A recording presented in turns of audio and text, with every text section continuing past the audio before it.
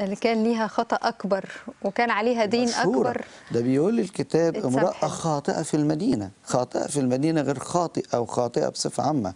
في المدينة يعني فاتحة بيتها الخطية. يعني معروفة مش محتاج حد يقول عنها حاجة. الست دي سيرتها مر أو زي السامرية. ما السامرية انتهزت فرصة. طبعا. أو شعب بالكامل. إحنا مش هنروح بعيد. شعب أهل نينوى.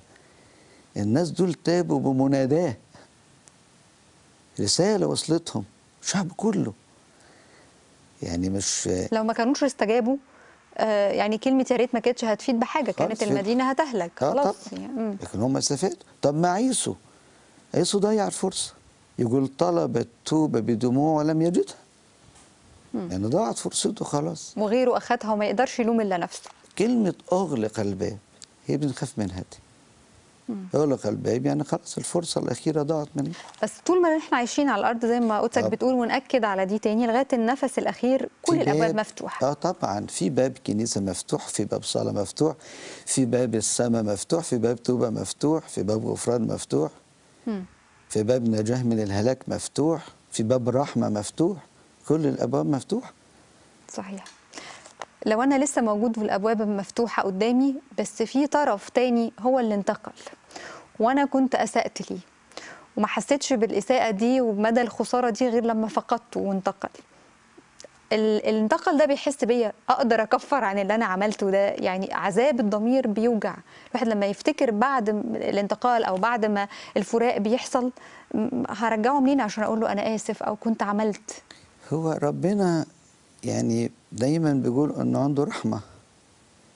وحتى إحنا في إحدى الصلوات اللي بنصليها في آه، آه، الأربعين أو في التذكارات المنتقلين نسميها صلاة الترحيم. إحنا بنطلب رحمة. يعني كلمة ترحيم جاية من رحمة.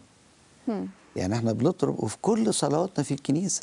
إحنا بنبدأ بإلي سونيماس وشوف قد إيه طول القداس وطول الصلوات بنطلب رحمة ربنا. طبعا. ودي كانت آه، آه، اللي عمله العشار.